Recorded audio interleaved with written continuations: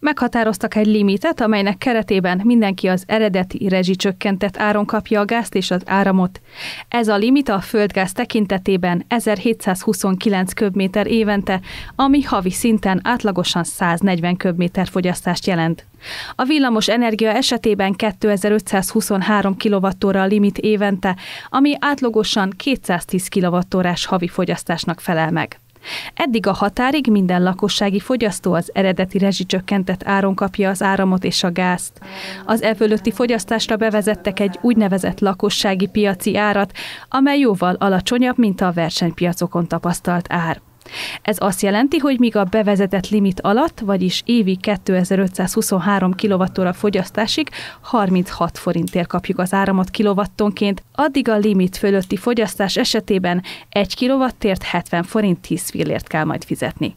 Az áram jelenlegi versenypiaci ára egyébként 268 forint 90 fillér. A gáz esetében évi 1729 köbméter fogyasztásig 172 forint a köbméter ár, az e fölötti fogyasztás esetében a most meghatározott lakossági piaci ár 747 forint köbméterenként. Emellett megmarad a gázfogyasztásnál a nagycsaládos kedvezmény, és egy új kedvezményt is bevezetnek az egy gázmérővel rendelkező társasházak számára.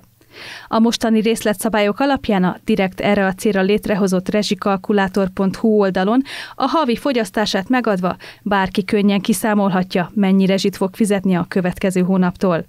Az oldal készítői felhívják a figyelmet arra, hogy az eredmény nem hivatalos számolás, pusztán segítségnyújtás céljából készült.